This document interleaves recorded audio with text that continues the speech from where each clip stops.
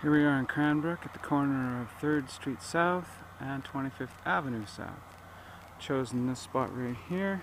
There's a pipeline running underneath this soil here, but here's my first peg. And it is approximately 6 inches in the ground with a clip on it that goes down to the meter. And then here's my next peg, 6 inches down. This is the second one. And a cord on it going to the meter. I hook to the meter there. And then the third peg here, six inches down, up to the meter via that cord. Here's this final fourth peg, six inches down, and the cord heading down here to the Megger meter.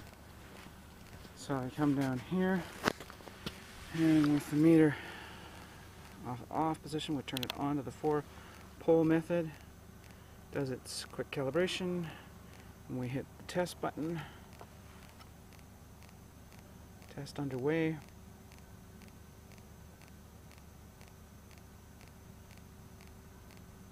Two point eight two ohms per centimeter, I guess that's the reading.